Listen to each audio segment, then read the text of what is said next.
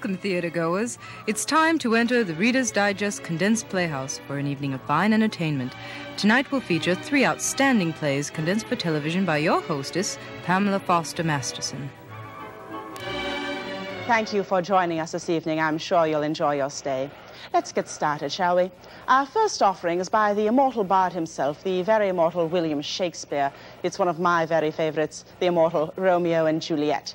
It's a story of two young lovers who die because they are very young, very much in love, and very stupid.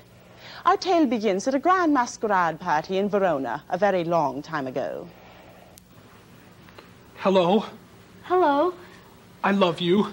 I love you. I'd, I'd rather, die than live without you. This cannot be. You are a Montague, and you are a Capulet. No, wait a minute. You are a Capulet, and you? No. Never mind. The bottom line is you kids have to call it quits. No, no. I'd rather die than live without Romeo. I'm going to take this this deadly poison and end it all.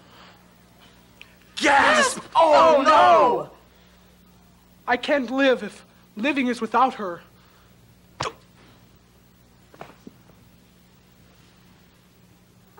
What happened? Oh, Romeo, it was only pretend poison. Oh, woe is me.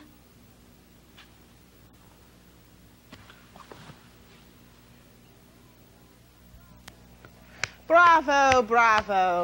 The immortal Romeo and Juliet. Tragic, but to the point. And now let's go from the immortal Shakespeare to the equally immortal Rodgers and Hammerstein. We'd like to present for you our production of Oklahoma, one of my very favorites. Let's get started, shall we?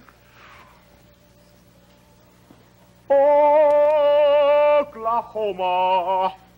Miss Laurey, I love you. People will say we're in love. I want to marry you, Miss Laurey. Not if I can help it. I say we bid for the hand of Miss Laurey. I'll bid everything I own. My saddle. I guess you really do love Miss Laurey. She's yours. Dearly beloved, we're gathered here today, etc., etc., etc. I now pronounce you man and wife. I can't cope. I can't last another day without Miss Laurey. Oh, whatever came over me? God, he's dead. Woe is me.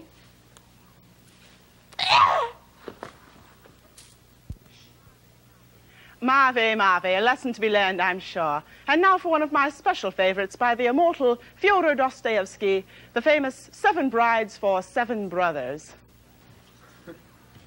We are seven brides. We are seven brothers. Cheers. Gasp. plano.